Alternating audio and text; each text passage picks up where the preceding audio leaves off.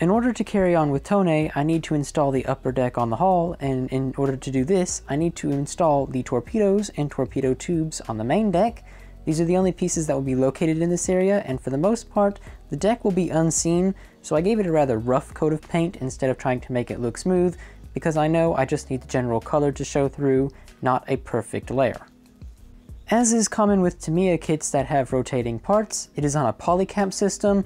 This means the torpedo tubes can be rotated to any position the builder wishes.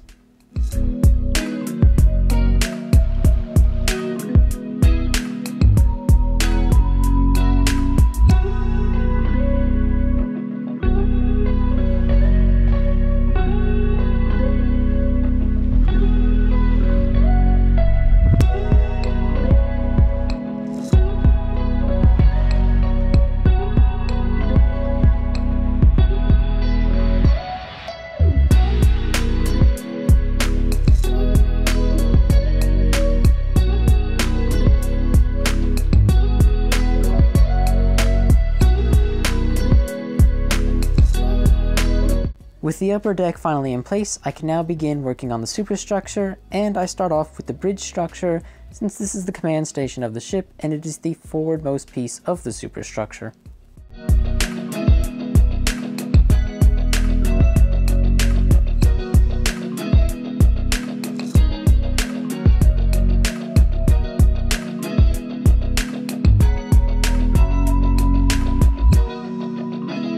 Unlike previous 1 350 scale ships I have built from Tamiya, this one includes binoculars, which I'm very pleased with, but it does take some time to install them.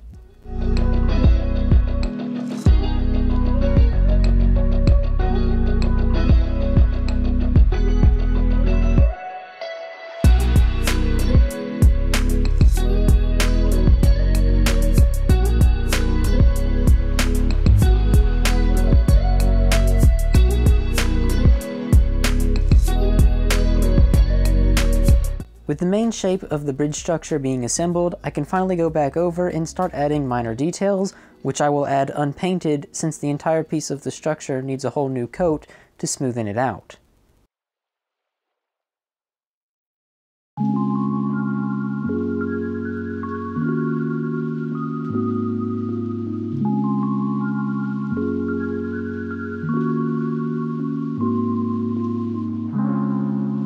Same as was seen on the torpedoes earlier, the rangefinder will also be on a polycap system so that this can be left rotating. Now what Tamiya does not tell you is that you should glue the two plastic components together and leave the polycap unglued. However, it is best to glue these since both sections of the rangefinder would rotate historically, as can be seen in photographs of Chikuma.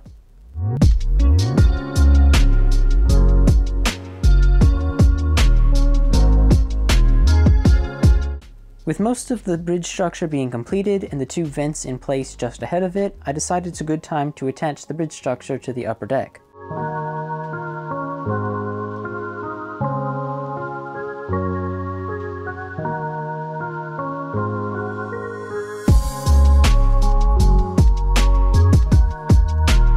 With the addition of the support bars on the back side of the bridge structure, that is all we are going to do for today.